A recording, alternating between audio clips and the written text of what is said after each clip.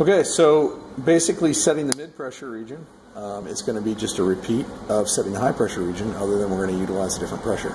So again, just get in the habit of turning these out slowly. When you turn them out fast, it tends to pull the O-ring up against the thread and it'll get torn. And if the O-ring gets torn, uh, basically your fail-safe is been reduced and uh, you know you could could develop a leak so anyway um, high pressure grease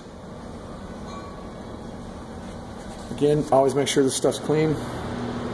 Go ahead and tighten it down.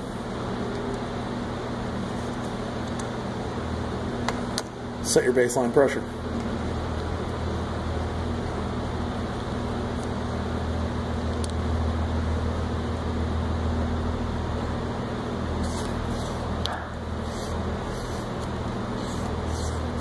In this case, I'm going to go to 180.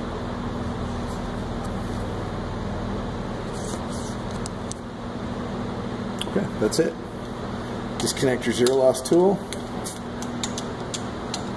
from your pump.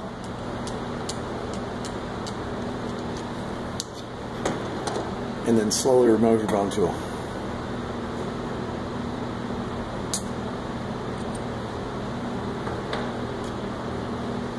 Then install your white medium pressure region screw. Again, make sure everything's well lubricated. Torque it down. The low pressure region would be the space between your outer tubes. Sometimes it's utilized, sometimes it's not. Um, if you want to utilize it with your settings, that's perfectly fine. Um, we find that it's best used as essentially a preload adjustment. Um, if you want to run zero pressure, you can. Um, in that case, you would simply bleed the pressure off like you would any other system.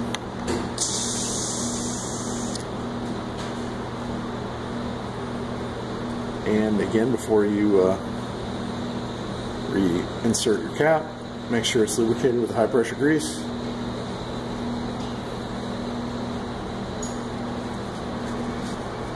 Seat it.